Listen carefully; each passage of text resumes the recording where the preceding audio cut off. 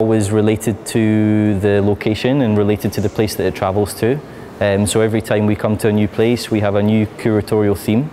Uh, for Luxembourg, we chose the theme of money, and everything that you can see here is an item that's been donated to the museum by international creative people responding to the theme of money. We think that if you put all these things together, um, they kind of speak very loudly and they speak bigger than each item on its own. Yes, we have um, merchandising, we have postcards. Um, in previous events, we've had posters. Sometimes uh, you've had a coffee shop. Yeah, yeah.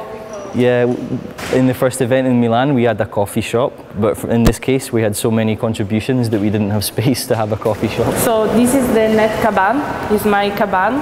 I'm Georgia, and uh, for this caban, I decided to start from the original one. Uh, that probably belonged to fishermen. So I decided to use the rope because of that environment.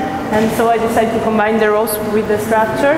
Um, because they can work really well together in the way that the rope helps the structure to be fixed and the structure helps the ropes to draw and to define this space.